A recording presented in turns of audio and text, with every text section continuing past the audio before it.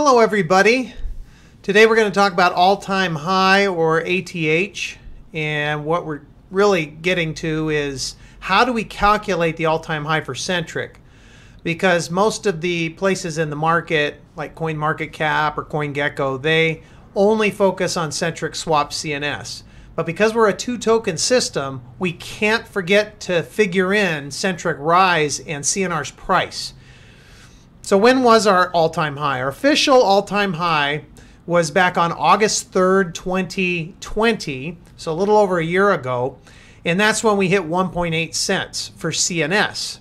At that time, Centric Rise was at $10.03. As you can see from the whiteboard behind me, we're considerably higher than that. We're over 14x higher, actually. We're at $145.96.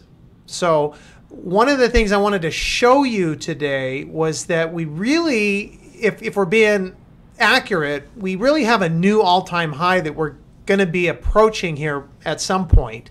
And if we look at the numbers, the the all-time high really should be lower than 1.8 cents. And let me show you what I'm talking about here. Basically, over here on the whiteboard, we have a couple of items.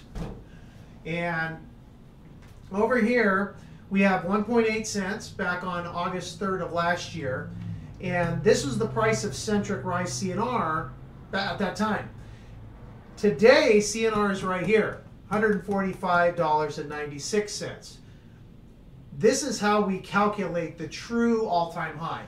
We take 145 0.96 or $145.96. We divide it by $10.03 and we get 1455.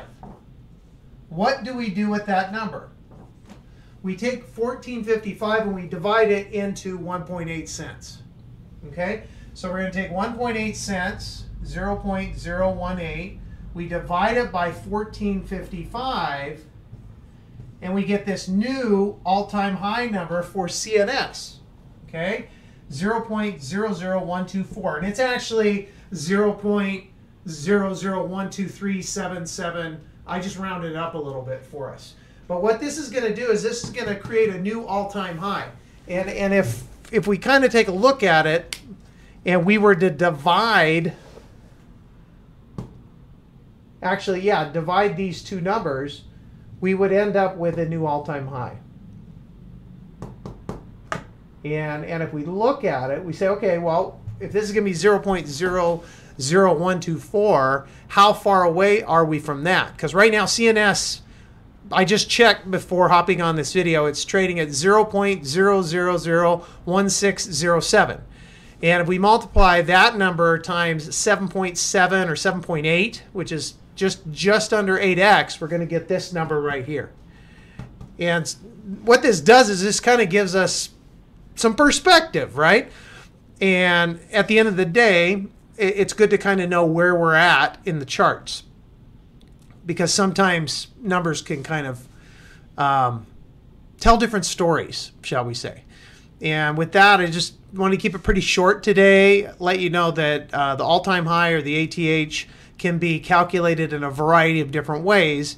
And with Centric being a two token protocol, we can't forget to figure in Centric Rise CNR because Centric Rise CNR is generating more CNS uh, every second.